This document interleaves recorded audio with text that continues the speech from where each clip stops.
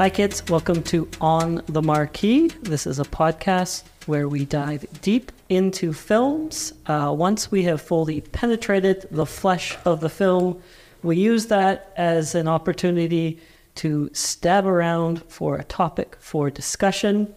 Using that uh, language because today we're going to be talking about Scream and horror movies and horror fandom. So I have some guests with me here today, and I have uh, uh, on the marquee mainstay. So let's get to that old face first. Uh, the dirty hippie himself, Michael Cast. Hi, Michael. Hey, I, I was I was really impressed with that language that you used in the opening. Oh yeah, I know. I was like, oh, let's see what he's doing there. Yeah. I saw that. Yeah. Uh, so we've done an episode, Michael, on The Shining, and you watched The Shining. You liked The Shining. I've seen The Shining. It's okay. Yeah. Okay, and then we did Texas Chainsaw Massacre. Didn't watch it. and you did not watch it. And now we're doing Scream, and you did not watch it. I wa- I watched a recap out of respect for you. Thanks. And in, in the Texas Chainsaw Massacre episode, you said you are not a horror fan. No. But you also in that said that you liked Poltergeist. Well, I like I like Poltergeist. It doesn't make me. I mean, So you don't not like horror. You're just not a horror fan. I guess so. Okay, so that if we're talking about Scream, uh, the question is, what's your favorite scary movie? Poltergeist. is it? Yeah. yeah, yeah All right, yeah, all right. yeah. Well, I'm sure there's others, but that's the one that comes to mind for me. Yeah. All right. Uh, okay, and then let's get to our guests. I have the Gundersons here, uh, Kellie and Kevin. Uh, we've been talking for about a month. I proposed you guys coming on. Uh, you were busy. Kellie, you were away in Calgary. Yes, I was doing the tattoo convention in Calgary for dark art. Okay, what is Dark Arts? Dark art is my art where I take taxidermy and put my spin on it. And you've been doing that for how long? Eight years. And how did you get? So, how do you get into taxidermy? I did a three year apprenticeship for traditional taxidermy. So I can taxidermy like traditional bears, head mounts, which I did f- for the first three years. And then after I did my tac, uh, my apprenticeship, um, I did my own kind of Frankenstein of taxidermy. Yes, I, I was uh, saw all the little ducks. Where do you get ducks to taxidermy? Those ducklings come from farms that don't make it. Nothing gets killed for my art. I don't wear a safari hat and go people's yards and take ducks. I suffer. so you do that at tattoo conventions. Uh, is there anywhere else? What Um, I used to do kinds of- like a lot of the small fairs around town, Yep. But I mainly just do uh, the tattoo shows. I have done HorrorCon in Calgary too. Um, pretty much I do like little shows here and there, but mainly tattoo. So what would you say is sort of the the percentage or the overlap between like a tattoo show and a horror? Like, is it the same general audience? Or is there, is it varied? Mm, it's very Yeah. Uh, for HorrorCon, it's very niche, so I do a little bit more like theme. Like I did a Pennywise rat. I've done. Oh, what's the other ones? Uh, John Wayne Gacy rat for HorrorCon. That one was good. So many. A lot of people did not get the reference to that, which I was very disappointed. All right, and then Kevin, you are not a horror fan. No. No, so we were talking, and you were uh, not a fan of jump scares. It seemed. I don't like that you know the formula and that you know what's going to happen and there's nothing you can do to prevent it. But watching a movie with them, It's an entertaining experience. Very limited audience on that. you don't watch the movie, you watch and watch the movie. Yeah, no, jump scare is not a fun thing for me. Shining, that's a classic. That's called classic. That's a good one. But if I have a choice and I sit down to watch a movie, I'm, I want to watch something I can zone out to. All right. All right. So we'll start with uh, Scream. Uh, so if we're going to start with Scream, we have to talk about a different Kevin. Uh, Kevin Williamson is the writer of Scream. Uh, Kevin Williamson got the idea when he was house sitting, and he was watching a program. Uh, it was called Turning Point. Uh, ABC News. Uh, it was hosted by Barbara Walters, and they were Turning Point. They were talking about the Gainesville Ripper. Uh, are you a fan of um, what am I trying to say? True crime? True crime? Yeah, Big fan. yeah, Yeah.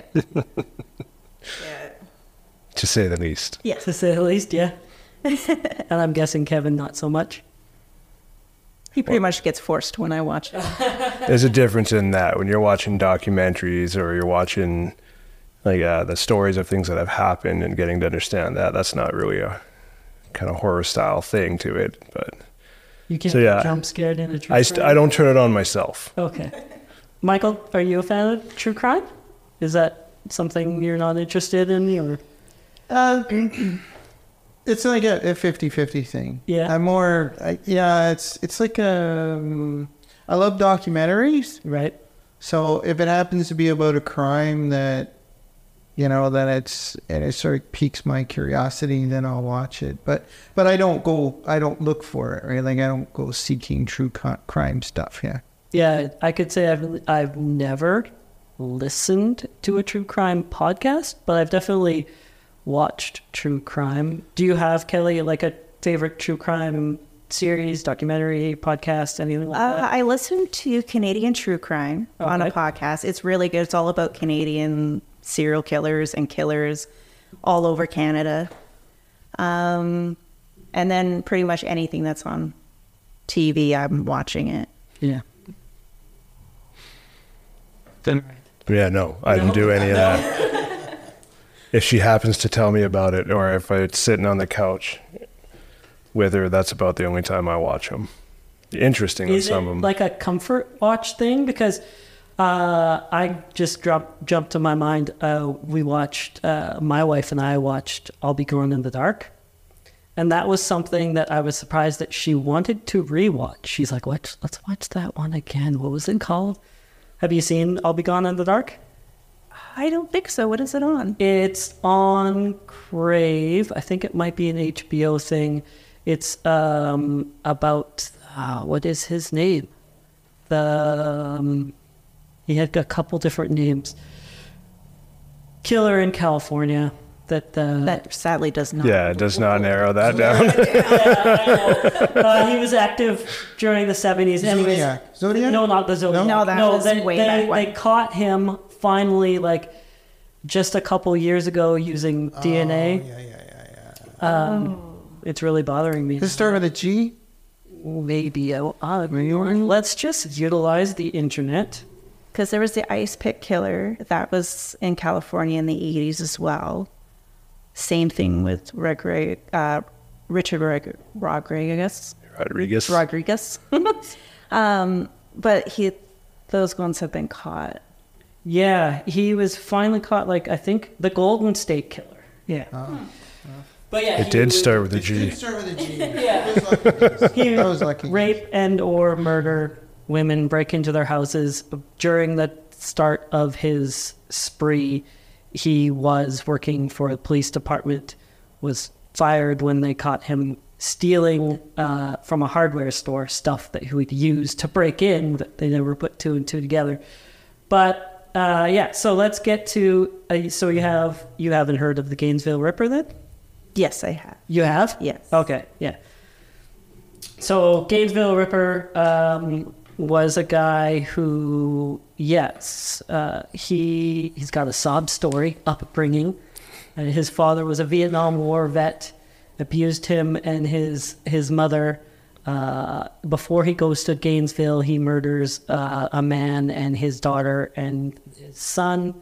He shoots his father, leaves for Gainesville, ends up camp, uh, camping out behind the uni- University of Florida, and he uh, rapes and murders uh, some women. Uh, there's one male victim.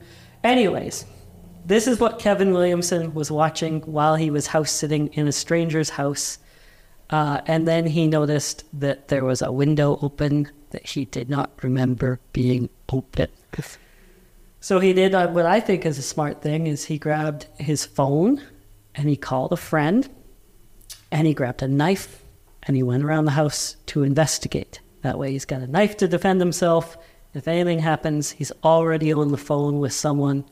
Uh, nothing happened. There was nobody in the house. But during the conversation with his friend, they started talking about horror movies and what you would actually do if you were in a horror movie. And thus, he got the idea for Scream. Uh, went away uh, in a hotel room, spent three days writing the screenplay, and then gave it to his agent. And a bidding war started for the script for Scream. Um, studios were bidding on it, the price kept going up and up and up, and eventually studios would drop out because A, it's a horror movie, so studios don't want to pay too much for horror, and B, uh, it's from a writer who has not yet had a produced screenplay. So it came down to uh, two production companies, one of them owned by Oliver Stone, and the other one was Dimension Films, which was owned by Miramax. Uh, the executive that uh, read the screenplay for Scream um, called Kevin Williamson and he told him, listen, somebody else will give you more money for your, your script. We will actually make it. So if you want it actually made, sign with us. If you want the money, go ahead, go with them. Which is a smart thing because Kevin Williamson had, had sold a screenplay before but it had been shelved, stuck in development hell. Uh, wouldn't get made until 1999 when Williamson had the power to make it himself. Miramax buys it for him. Uh, that at the time was titled Killing Mrs. Tingle, but by the time he made it, it's post Columbine, where school shootings were uh, had an impact. So it title is changed to Teaching Mrs. Tingle. Have you seen Teaching Mrs. Yes. Tingle? You and I have seen Teaching Mrs. Tingle. You've seen, it's, it's, it's not, uh, It's not it's not Scream. No, No, I've seen Scream too. It- that was a classic back in the day. But yeah. So, anyways, uh, yeah. So, Dimension Films, which is owned by Miramax, uh, buy Scream, and then they go about trying to find a director for it. Uh, Miramax first attempts to use the directors that they have in their stable that they made their names off of. Uh, three directors, kind of from the same cloth, uh, both reference pop culture a lot. So kind of fits with Scream. Any idea who those three are? not a clue. There are clue. uh, there's one director who is mostly known just for his dialogue. There's another who's mostly known for his visuals, and there's one who's known for both things. Uh, the first one, Kevin Smith. Nice. You guys, you went to the the road show, right? I have Kevin Smith's autograph. We both have it uh, tattooed on us. And Jason yeah, and that one. Yeah, I don't think uh, Kevin Smith would have been the good choice for Scream. Yeah. But he's made some horror, but definitely not horror like Not like Scream. yeah, Tusk is a little different. Yes, a very, very, very different. Uh, and then the other director is Robert Rodriguez. And then the last one is Quentin Tarantino, uh, which I don't know. Maybe it would work, but I still don't think it'd be quite the fit. It'd be a bit different if T- uh, Tarantino doing that for sure. Yeah. So Tarantino and Rodriguez end up making um, From Dusk Till Dawn instead of making Scream. And then eventually, uh, we've got, they approached people like Sam Raimi and George A. Romero. Romero was in a dry spell, wasn't really making anything. And I think Raimi is in between making The Quick and the Dead and uh, Simple Plan. You seen either of those, Kevin? Quick and the Dead for sure. Simple Plan, I think so. I just can't remember it.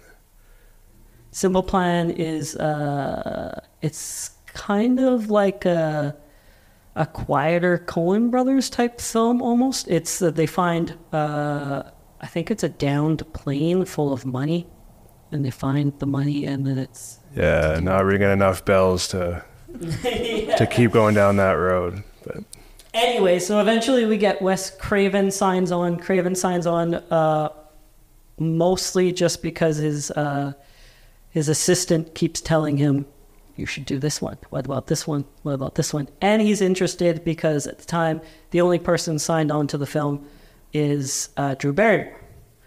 Drew Barrymore was initially supposed to be the lead. She was supposed to play Sidney. She changed her mind six weeks before filming and decided that she wanted to be the girl in the opening. That's why her face is on the poster. Yes, and they definitely leaned into that heavy in the marketing, which um, gives it that psycho factor, right? She, you think she's the star, now she's dead. Anything. and you still have a movie to go through. yeah, exactly. Nobody's safe now. Um, so I will admit I'm completely biased because Scream is my favorite horror movie. I don't think it's the scariest movie, but it's my favorite horror movie. Um, do you? Here's a question, Kellie. Do horror movies scare you? Is it for a very long time? not for a very long time? No. Do you still occasionally get one that does, or is it Um, not really scary, but I think the last one that kind of like messed with my mind was Hereditary. Because it's not really like a scary one. It was more like, what? What the? What did I just watch? I remember watching Hereditary in the theater and like experiencing things I don't feel like I'd ever ex- like. I felt doom, like doom was pressing down on me, and I was like, "What is happening?" And I think because of the time that it came out and that I had a kid at home, there was definitely parts of the movie where I'm like, "Nope, that's it. I'm I might just get out and walk out. I've never walked out of a movie before, but I might just do it right now." Uh, I'm glad I didn't though, but I like it. Um, my wife liked it until the ending. Ah. She hates the ending. She thinks it's really, really, really dumb. She gets really mad about it because she loved it up until that point. Michael, you have not seen Hereditary. Nope. No. So we uh, when you are when when my wife and I are watching something, it's like when we're deciding on watching something, it's like well, that's a horror. No, it just we just skip it. That's it. Yeah, yeah. No, if I want to watch something with her, the easiest way to get her to actually pay attention and watch it is either to watch something horror or to watch something comedy. If it's not either of those things, she usually will not pay attention to what is on the screen. yeah, so do you, when you watch horror, you watch with Gage usually or alone? Usually alone. but even though like Gage and Samara both watch movies with me, they've grown up on it. Right. But other than that, I usually watch them alone. Do you remember the first time you watched Scream? Was it when it came out or was it later? Yeah, it was definitely when it first came out. Were you a horror fan by then? Oh yeah, I've been a horror fan since I was like five. So how how does that start? Like how do you become what's the uh, the origin story of Kellie the horror fan? My uncle. Your uncle? So I would go for weekend trips and do sleepovers at his house. We'd get candy, junk food, and he's like, "Don't tell your parents that I'm letting you watch this." and we would literally watch Tales from the Crypt, the old '80s Freddy, like all the classics, all the Jasons, everything, Mike Myers, and that was literally the staple on where I am now. So uh, I meant to ask earlier, who or what is Betty Kruegar? Who or what? So it's a mixture of two. So where I got the name? Sure. Okay, where I got the name is a mixture of um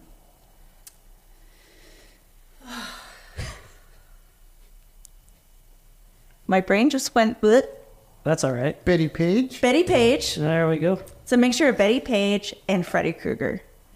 Because I remember when I was younger watching Freddy Krueger, I was like, okay, I don't really find this scary, more cheesy than scary. But that's kind of like a lot of my routines. It's very gory, but yet kind of cheesy, where you're just like, should I be turned on by watching this?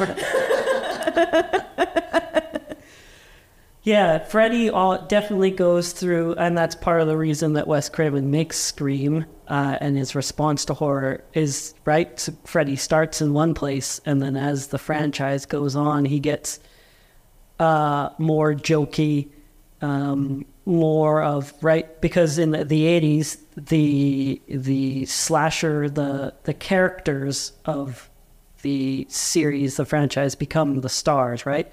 your Freddy's, your Jason's, your Michael Myers are the star. That's what you build the franchise around, right? But as they go, I feel like they get farther and farther away from the origins, which is what Scream was trying to respond to, anyways. yeah. Yeah. Do you have a favorite horror franchise? Mm. I kind of have a mixture. Like I love the B grade horror movies. Like you can't go wrong with those. but I also like horror that pushes boundaries. Like I remember watching movies back in the day and it would be like children were safe for the most part besides like Pet Sematary. Um and animals. So whenever anyone pushed those boundaries, like where they're killing off kids or animals in movies or just pushing that limits, I'm like, okay, this is fucked up, but I like it because they're literally pushing the limits. And if I can't predict where the movie's going, then I love it. Even if Kevin knows the formula, he does not enjoy. Even if I'm in another room watching a completely different, more happier movie. Yeah, so I think, um, well, let's talk about horror movie fandom movie franchise for a bit because I think what happens uh, with Halloween, right? Halloween helps kick off the slashers, 78. Mm-hmm. And it's uh, this big success, this hit that nobody saw coming. So much so that when they make Halloween 2, uh, they have to go in and do reshoots to add more gore to the kills because it's no longer up to the standard of everybody else who came in and copied them. Um, but I think you have in the 70s, we talked about this a bit in the Texas Chainsaw Massacre episode, that in the 70s, the horror that was being made by the major studios was the um, the supernatural horror, right? All the biggest franchises were The Exorcist, um, What are guys? the Omen. Yeah, so it was these other things that wasn't the slasher that were big, and there wasn't as much horror being made in the 70s. More interesting stuff was more of the independent stuff, the Texas Chainsaw Massacre or the international stuff, Giallo in Italy and stuff like that. So I think there was a, an appetite for horror, right? Horror movie fans were starving for horror. So when uh, it explodes in the 80s, and all of a sudden studios see that, oh, we don't have to put a lot of money into this. And you don't need, because the perception by the studios in the 70s, I think, was that you needed a star to make your horror valid, right? You needed Gregory Peck in The Omen. You needed somebody with some gravitas. That's why we have Donald Pleasence in Halloween, because you need, it's usually a British actor of some renown to give it, to make the audience uh, send the general audience the message that this this is a movie worth watching. It's not one of those B grade horror movies. But in the 80s, right, we have Halloween take off, and then Friday the 13th tries to copy the formula. And that takes off, and you get these copies and these copies of these copies, and you get all this horror movies. And I think the studios, because they do this all the time, they learn the wrong lessons. So they think all we need is our Freddy, our Jason. You just need the slasher, the star, and some teenagers to kill. And that's it. And so one girl that makes it to the end. and one girl that makes it to the end, right? And then so they just they followed that formula for all of the 80s. And horror fans who have been hungry for anything, nobody's paying attention to them. All of a sudden, they're getting everything, all the horror, right? Horror explodes in the 80s, that coincide with VHS, VCRs. So now you can watch horror at home, but not only can you watch it at home, you can watch it at home and see the stuff that they don't air on TV. So it explodes like that, and there's another revenue stream now, right? Because you can make a two million dollar horror movie, it can make fifteen to twenty million dollars at the box office, and then it makes more money in video store rentals. So I think that's part of the reason that the quality in some of these drop off because the studios don't really care anymore. They just need the star and the franchise, the franchise name and the star, which is why uh, horror movie fans were really upset in Halloween 3 when there's no Michael Myers. So they have to say in the titles of 4, 5, and 6, Michael Returns, Revenge of Michael Myers, to tell you, Michael's in this one. Don't worry. We're not going to do that again. But I think what's hap- what happens is that the product gets watered down, right?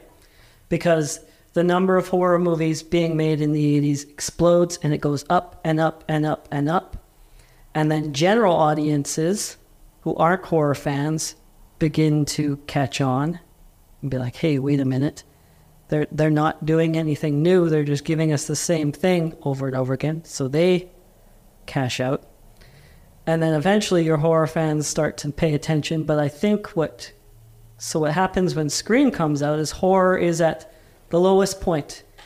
When Scream comes out, the number of uh, movies, percentage of movies that's being produced that are horror movies is at the lowest point it's been in since prior to the 80s boom. It's like 2% of all movies, which means we're getting 400 movies a year, which is what is the math on that? Like eight horror movies a year.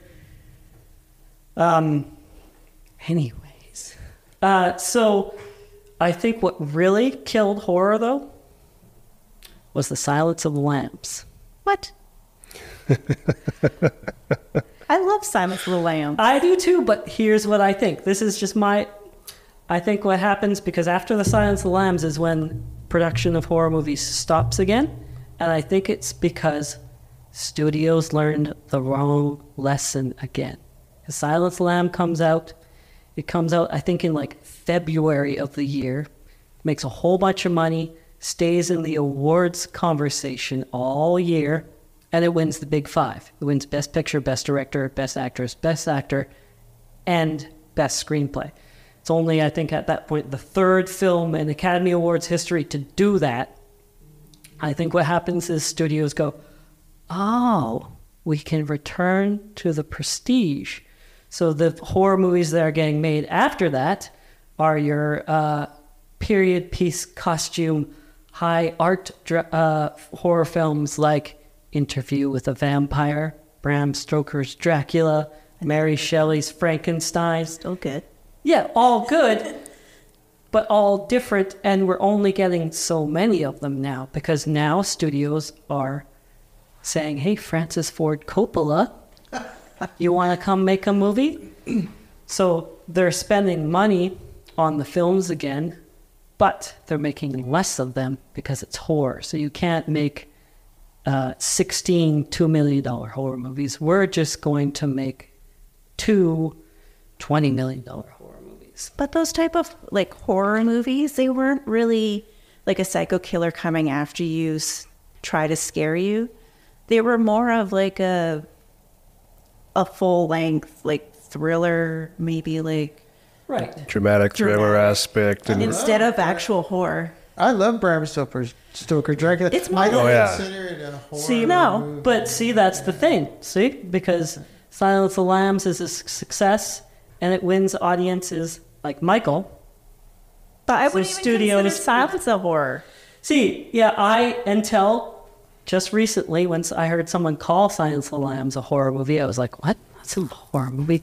But I can see how people would consider it a horror movie. It depends on how broad you generalize everything, right? Like if you're going to generalize horror movies as into it might be slightly scary or outside of norm, and then you go back to the original slasher kind of horror movie style of that, and then ha- the differentiation that comes through that of evolution that you're, you're talking about. It's kind of like even within that, what is horror and how do you define it to be that core group piece like, of it? Horror should scare you in some way. Like in the 70s with like The Exorcist and The Omen, it's all based around religion and people were super religious back then. So that scared the shit out of them Yeah. because they thought all of this was real.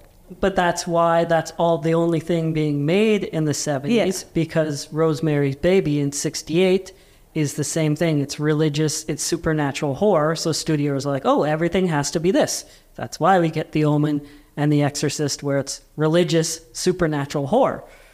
But if Until you watch the Halloween comes and it breaks the mold, and it's just a guy in a nut with a knife in any street could be breaking into your house, stabbing you. But I think that's where we get uh, right because of the '80s, the proliferation of horror, the uh, and the slasher, that horror gets conflated with slasher.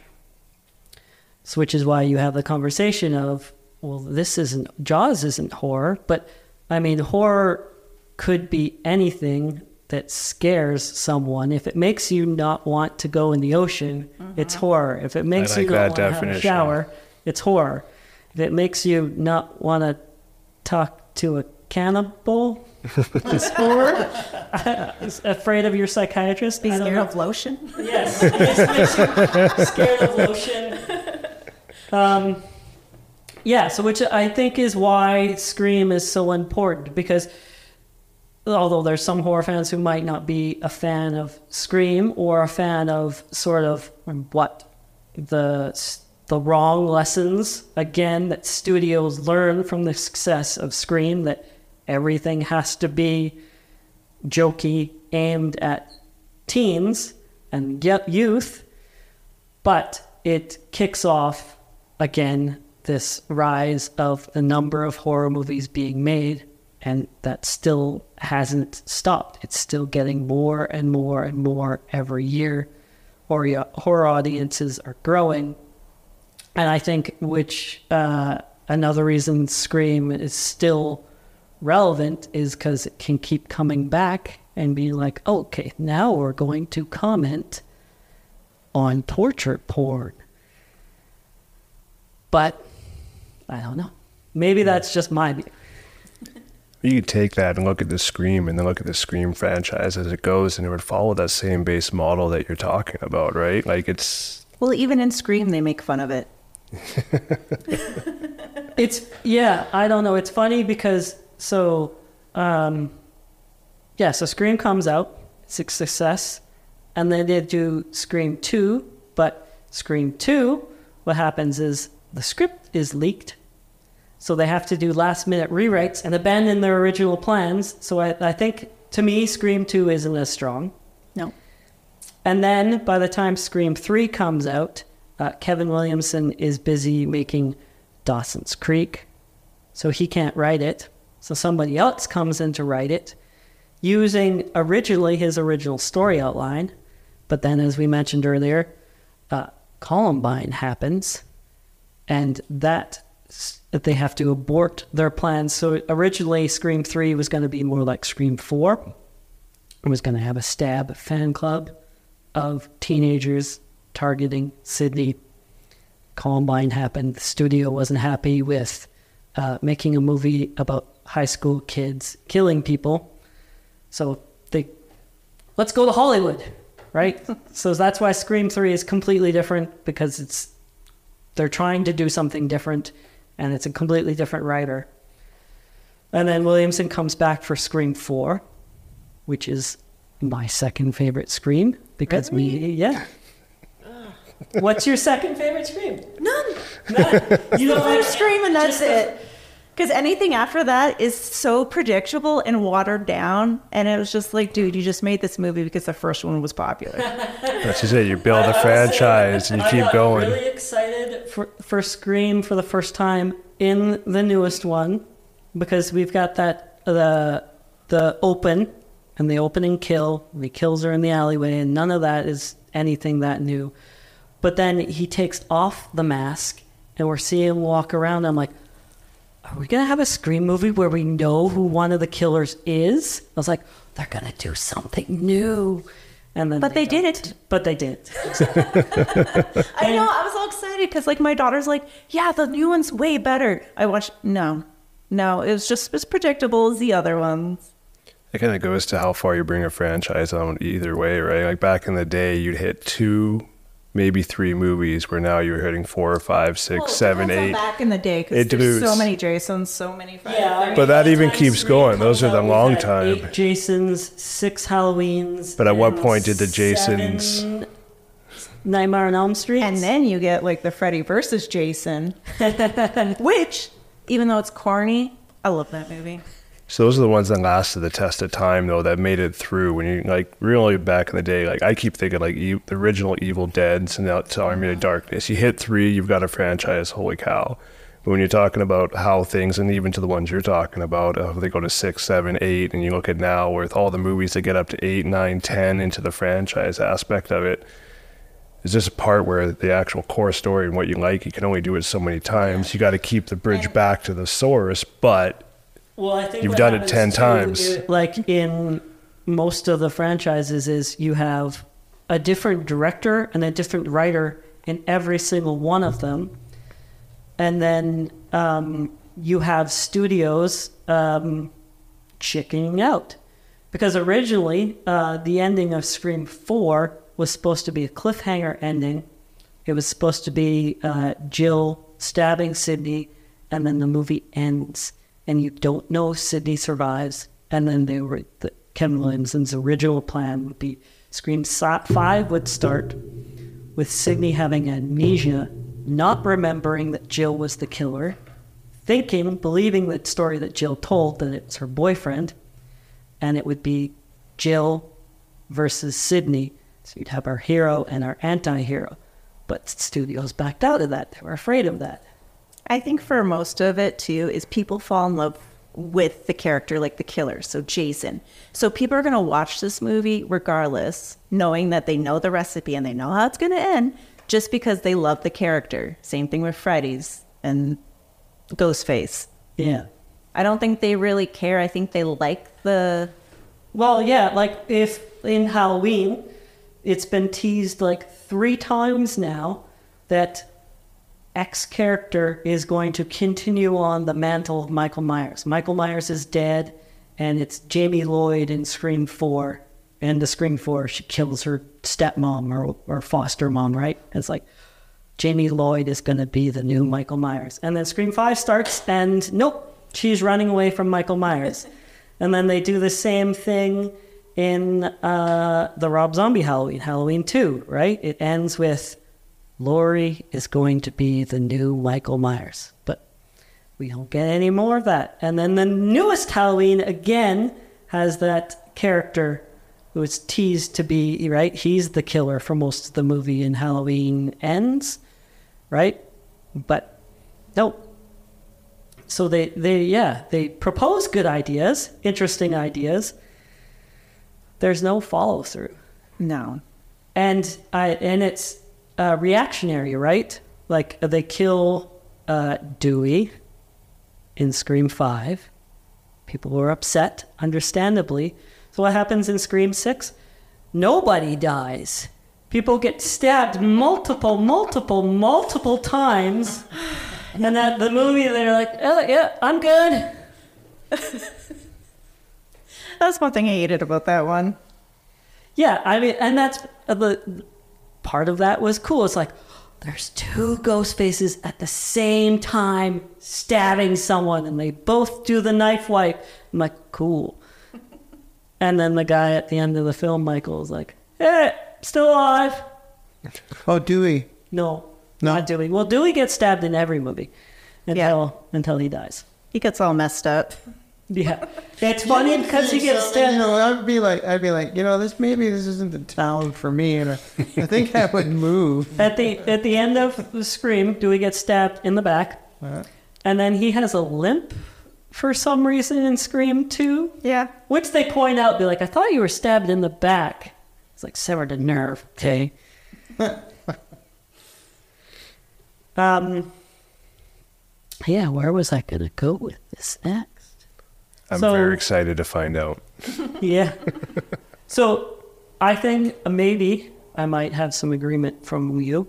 I think the most, the strongest, most consistent horror franchises, two come to mind. One that Kevin sort of mentioned is the Evil Dead. Yeah. Even though Evil Dead 2 is pretty much Evil Dead 1 all over again, but fun. Better. Better. Yes, Evil Dead 2 is heads and tails better than Evil Dead, even though Evil Dead is good. And then Army Darkness, we take it somewhere else. Literally. Literally. Do you like the the remake and then the the Evil Dead Rise? Of the new ones? Yeah. Okay, so the Evil Dead, the one that came out a few years ago, that one, I was impressed and I was really excited. And we actually saw it in the theater, and he was getting mad through the whole thing. Um, I watched about two percent of that movie and saw the inside of my shirt for the rest of it. Um, I really enjoyed it up until the ending. The ending felt like they ran out of time and they were just like, man, we'll just do this, which is very disappointing. It's like you getting me there, then you're just like, no. It's probably studio notes. They're Yeah, probably like, it- yeah, no, we have to do this instead. Yeah, and then she loses her arm because a Jeep fell on it. And I'm like, oh, no. What about Evil Dead Rise? Okay. so it has a great title card. yeah, it does. And the previews were amazing. And I love that there was references and callbacks through the whole movie, even to the original Evil Deads. Right. That I loved. And I loved, like, the eyeball flying out and doing the recall from the first one. First one, yeah. Yeah. Yeah. I caught all their little Easter eggs. And that's what the only thing that I liked about that movie. All right. The second franchise, I think, is the strongest. Uh, I think partly the reason that it's the strongest. So I, I propose Evil Dead because at least one, two, and three is Sam Raimi all the way, and it's Bruce Campbell. How can you go wrong with Bruce Campbell? He's amazing. Uh, but the other one, I think, is because it's uh, mostly from the same creative team. Is Child's Play. Yeah. In Child's fact, Play's good. I will say that maybe Child's Play series gets better as it goes it does, yes. because it changes, but it it it changes with the times, and Chucky changes with the times himself. And they don't forget where they came from. I, lo- I love when a movie, just like the Chucky series right now, they do callbacks from like the first movie and bringing Andy in. I love when they do that because it's like, okay, you know that your fans have been watching this. And I hate when a movie pretends that only that movie exists Right. and there's not a whole chain of movies prior to that. so I really do, even though I had very little expectations about this new Chucky series and where Chucky kept going, but I love it. It's so good. It's like corny, cheesy, but I love how they reference everything and don't pretend that nothing ever existed prior to this. Right. You like Child's Play, Michael? No, I was thinking about about when you were saying franchises. Yeah. So when I was younger, let's I'm gonna this is gonna make me sound pretty old. is uh is and he reminded me when you were talking about your uncle is I would I would be able to watch you know uh, late on Saturday nights, um, Bela Lugosi, Boris Karloff, or uh, Lon Chaney in the old black and white, the old black and white monster movies. Right. And when I was a kid, I mean, they, they're not scary now, Right. but but as a kid, they were really scary, right? Even for the time, they were scary. and Brian Yeah. Frankenstein's pretty great. They what about this new uh, weekend? At, what's that? It's a it's a restaurant. Some guys hanging out at Friday Fridays Fridays. Uh, Oh, I saw it on Five the, Nights at Freddy's. yeah Freddy's. So That's now like- that's like a horror- Chuck E. Cheese. Horror has bled into Video games. Video games. But it was like that before, like Resident Evil. Resident Evil, It's and Silent Resident Hill. Evil helps revive the zombie genre, partly. I was going to ask earlier, actually, how many horror themed tattoos do you have? Do you know? I A don't- lot? My whole back is horror themed. Um, I have Pennywise, the girl from Evil Dead. I have Samara from The Ring, Gage from Pet Sematary. I have the female vampire from 30 Days of Night. And then I have a Buffalo Bill Cupid on my leg. I have a Texas Chainsaw rat. I have a Jason rat. Oh no, I have Red Ron tattooed across the back of my legs. Now you're making me think of where all my horror ones are. I'm literally covered in them. Yeah, I was surprised actually when you posted Kevin the the pumpkin tattoo you got. I was surprised you had any space for a tattoo still. I got plenty of space compared to her. yeah. I'm covered in tattoos. Michael, how many horror tattoos do you have? A zero. Zero. But you get a tattoo every time you go on vacation, right? Yeah. You're going to Egypt, Yeah. so you're gonna get Boris Karloff's mummy tattooed on you, Or right? or, or an ankh. Yeah. Maybe an ankh. I- Maybe a maybe a scarab. Do you know Boris Karloff's birthday? No. William Henry Pratt. That's less cool. Boris um, sounds Because he's British. Yeah. He's just a Yeah. pasty British guy. Yeah, Boris is, is definitely. Karloff is definitely better sounding. Which my last one wasn't very horror like it was it was Donald Duck. Donald Nice. Duck. Looking angry. Well, if you're Not afraid an of, angry if you're Duck. afraid of ducks, Ducks that talk. people who can't talk properly, maybe. Oh Okay, before uh, we finish, I'm gonna make. Uh, I'm gonna say why I like Scream so much.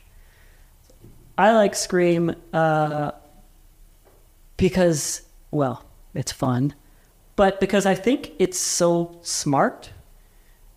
Uh, Michael, because every scene we go through, we introduce a character, we give a little bit of backstory, and every time we introduce a character, we give them a viable reason that that person could be the killer. Right? There's I think maybe Tatum is the only killer or the only character that they don't really give a moment and be like, this person is the killer because this reason. But Tatum played like the slut that dies. The slut that di- you don't like the slut that dies. No, but like in every movie, there's like the slut that dies right away. right, And then there's like the good girl, which would be Neve Campbell's character. right. So it's just playing against like the the recipe of horror. Well, It's like don't have sex or you'll die. I suppose there there is the moment though that I like when uh, when they have the sleepover. And the one thing the one thing that bothers me about that scene is they're in Tatum's bedroom. She's got two single beds for some reason. I always wondered that too. Yeah. But she's in like she's dressed like a little girl and she's got her stuffed animal and everything. And that just to me um like I read it is like okay, she's really just a little girl and everything else outside of the bedroom is a show, right? She's putting on No, airs. is it that or just presenting her as the virgin? Uh, I don't. Because having it like that, like even if you take it from the 80s movies, you would always have like the good virgin girl Right. that usually made it to the end of the movie. Right? And then you would have her friend that was either a slut or the bad girl. Right. That was usually the one, first one to die. That's true. But we only have two females die in Scream. Yeah. It's all mostly guys. But does it follow the same It does plat- kind of follow the same platform though. Because then you ask like what could be messaging behind it, and you take it back to the '80s, and it's basically Yes, so don't do this or this will happen. You want to be this person so you can survive these Yeah. things. So then you go to the scream and then you can just be like, well, all the guys are just filler. we had a cou- we had an hour to fill. The Girl that runs upstairs. Yes. See. Yeah. Yeah, you got to be the dumb girl that runs upstairs. I just love that she says that and then she ends up running Yeah. the stairs anyways. But they do make fun of a lot of like even Wes Craven's movies. Of like, you got to be the dumb girl that runs up the stairs, and the um, even the recipe that Wes Craven did, even with um, Freddy Krueger, like the Nightmare on Elm Street, they're all in the same thing. Like, you have the group of kids. They all die maybe two or three live well two or three usually live till the end. And then they all make fun of it and scream Yeah, I don't know. There is a certain formula. Like I've noticed that it's usually a group of five friends. It's five friends in the original Evil Dead that go to the cabin. We've got our five friends in Scream, and what other horror movie was I watching usually the it's two couples Five, and a side character right? Yeah, but I, I also like it because you can you can rewatch Scream. You can know who does what. I rewatched it again last night, and I still notice things that I had noticed. But what I love is uh, if you just watch the looks that Billy and Stu shoot each other, and the way that you could interpret it, if the first time you watch it, it'd be like, dude, not in front of my girlfriend. Stop talking about murder in front of my girlfriend. But when you know the twist, it's stop being so forthright that we just gutted somebody. and especially there's the part where um, where uh, Billy shows up to the house party towards the end, and he comes in, and uh, Stu offers them the bedroom to use upstairs. But the language that they're using before that, uh, Billy says something to him. Don't be, or what does he say? He says something about not being so obvious. And you can read it as not being so obvious of what we're going upstairs to do. But I think it's more because when he shows up the door, he, he gives him a look, and it's it's right after Billy kills Tatum, right? So it's like, yep, that's taken care of. And I like that for once we've got uh, a killer and a slasher that can be kicked and knocked down and covered in beer. You know, he's not an inhuman thing, it's just a lanky teenager in a costume. I like that uh, it makes sense of you could go through the logic of where everybody is at all times and it, it makes sense. Right? There's no you're not like like for the opening kill when you don't know it's two killers, right? It's like he was just in the house. How does he get get her already? It's that typical horror movie thing. And then when you know, it's like, oh, there's two of them. That's how. There's two of them. yeah that's how they could get around so quickly Yeah. Did you know that um, originally in Scream 3, um, why can't I think of Stu's name? Uh, Matthew Lillard was supposed to be in it. Uh yeah because he didn't die from the scream first one Yeah, the original plan was have uh, Stu from prison was pulling the strings of the stab club targeting Sidney. hey if they could bring back billy how could they not bring back stu the Billy Dean back is, is, is really dumb. Do you know, uh, Kevin, what Stu Lily is? No clue. So Stu Lily is uh, uh, the fans, and it's Kevin Williamson has confirmed it. The fans' belief that Stu and Billy were in a romantic relationship. yeah they were secret lovers They were secret lovers. And you could read, right? Because they kill each other's girlfriends or ex girlfriends, right? Mm-hmm. But uh, that was, William says that, Williamson says that was inspired by Leopold and Loeb. Do you know who Leopold and Loeb are, Michael? No. Uh, they were two in 1924, two uh, very intelligent uh, men. I think they were 20 and 19.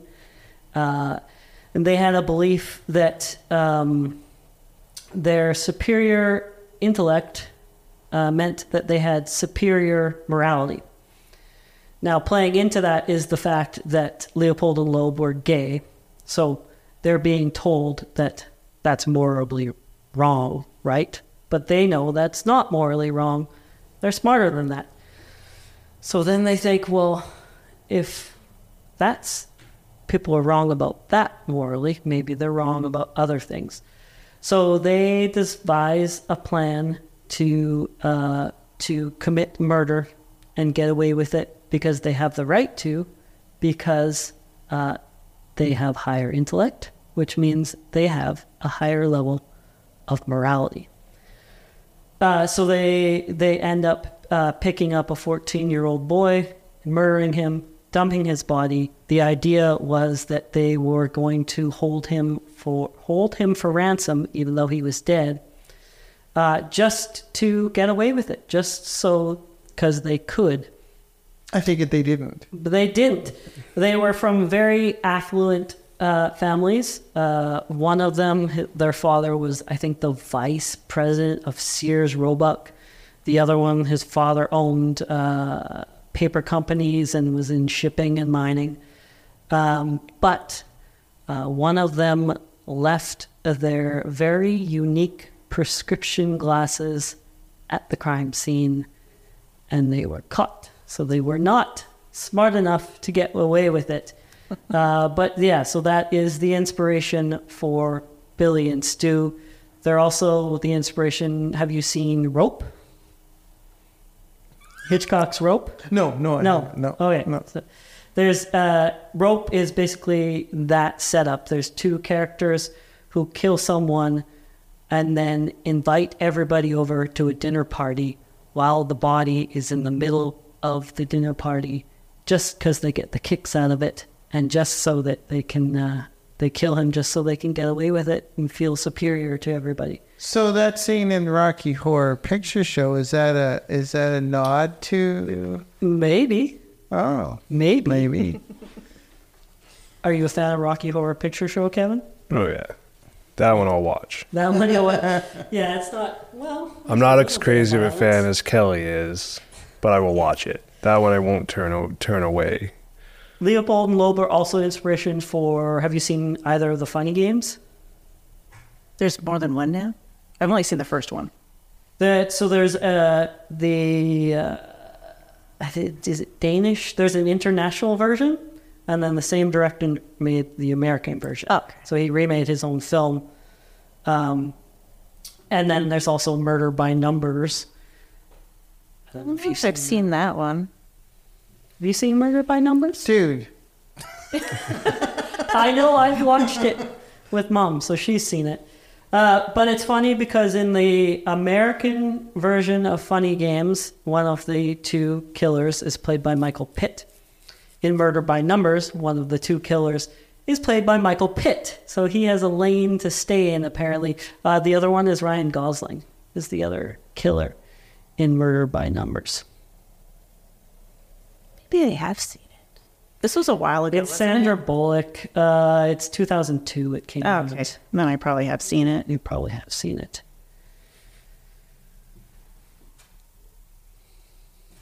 Anything else? Anyone want to say anything else about Scream or horror movies? Ah, I could talk forever on horror. So, uh, am I wrong in saying that part of the reason that the Child's Play franchise gets better is because it gets gayer? Because it gets gayer. Yeah, it gets more queer. I think there's always like not in horror movies about gays, just them being out in the open about it. Whereas, like you said before, it just follows with the times, Yeah. right? Like the world, the society today is a lot more open than it was Well, it's like 30, 40 years ago. Into the Vampire. Lestat and like in um, ah, what's his name? Yeah, I can't think of his name right now either. Louis. Lestat and Louis. Yeah, Louis. You're telling me Yeah. they were very, very gay. Well, they're outright gay in the In the series, yes. aren't they? Yeah. But even in the books, they were very homo the books are very homoerotic with that. So it's like I can understand the early '90s, maybe like not being so out about it, Right. but it was still there. It was all through the movie, which makes the movie amazing. and how they fight and bicker with each other. They're just a couple. They're just a old couple. They're just an old gay couple. Yeah. There, I think there needs to be. I mean, there we've had uh, like touches of it. John Waters has done versions, multiple maniacs and things like that. But I think it's about time that we just have a full-on, big budget horror movie where everyone is a drag queen. Yes. I want, I want the victims drag queens. I want the killer a drag queen. But would you consider Leatherface a drag queen? he uh, he does wear the apron. And he does. does cross dress, Yes, he wears some makeup. Uh, he- especially in the next generation. That's all he wears is women's clothing and makeup in that one. And that's the one with Matthew McConaughey in it. Have you yeah, seen it? Yeah, yeah, yeah. But does that is that all it takes to be a drag queen though? I don't know, but he is kind of he's kind of based like Buffalo Bill's character. Right. But would you consider Buffalo Bill kind of drag queen? No, I think Buffalo Bill is maybe a '90s version of transgender, but done in the '90s To kind of scare people Yeah, and thinking that like this is whatever. He, Yeah, yeah, because uh, what is his name? I fail, I'm failing to the director of it's Jonathan Demme, director of Silence of the Lambs. After that, because some of he upset some people with that character, Oh, which yeah. is why he makes Philadelphia. After that, he tries to atone Which to that the gay community. also upset a lot of. Yes, but it's, but it's the nineties. Yeah, I mean, I don't know if that can that be used as an excuse though. That it was the 90s? That the times. if you put movies in if you put movies into and and actually people's thought process too i think. I wouldn't say it's an excuse. I would say it is what it is but that doesn't make it right for today. Yeah, right? Like in the time i'm gonna t- like i'll be honest with you when i in the 80s so i was growing up in the 80s i was a teenager in the 80s and i was homophobic as could be right? And i said to a buddy of mine i said you know uh, who, who would have thought that you know when we were younger that i would be riding on the back of the theater northwest van handing out water at a pride parade i would have never in, a million years thought thought that i would be doing that people change, times change. So if you put it in, into context with the times, I think it just is what it is based on that time. And I, I don't know that it's it's it's wrong. It's like the Stones and Brown Sugar, right? They're not going to do it now. They're not going to play the tune. They did it back in the in 70, 60, 70, 71. 71. So it, it is what it is at that time. It's still a good song. Is it is it politically correct? No. Would they play it now? No, they don't play it live anymore. So, you know, does it make it does it make it bad? A bad movie or a you know bad piece of art? No, I don't think so. Yeah, I don't know if But like, no, I don't think you can use it as as that as one single excuse. no. no. I think it's like appreciate the past and what people have gone through, but learn from it and move on from it. Mm-hmm. Don't pretend that the past never existed or you're just going to repeat yourself over and over again. Sounds like the same thing you were saying about franchises. Kind of. but like uh, you mentioned John Waters. Yeah, He had Divine in his show, his movie, right. and that was a pretty popular drag queen at the time. Yeah, I mean, but John Waters didn't have sort of the the reach and the budget, right? That he would later get without Divine, unfortunately. Yeah. But yeah, uh, anyways, that's that's my demands. Is I want a full on. I want a very, very, very, because I think movies are gay. movies are gay. They're dramatic. They're theatrical. They're costumed. it it's putting on a false face, pretending to be somebody else. Movies are gay. Now, for your uh, drag queen slasher, I'd have to say John Waters would have to direct it. Direct it, Yeah, or he can just be in it. both. Like when he was in Chucky, Yeah, not many people knew that. yeah. Tom Waters is in Chucky. Cool. Okay, okay. I'll take your word for it. Yeah. All right. That's good. I I think uh, any any last words? Anything else? Thanks for having me. Yeah, thanks for coming, talking horror. Um, yeah, next time we do another horror movie, bring you guys back. I think I'll give Michael and everybody else a a break for a little while though. uh, yeah, so we'll wrap things up. Uh, this podcast was recorded in the Arts North Podcast Studio in Studio 2880. I will once again thank my guests, Kevin and Kellie Gunderson, for coming out, and Michael Cast. Uh, stay tuned for more and be sure to check out On the Marquee on YouTube.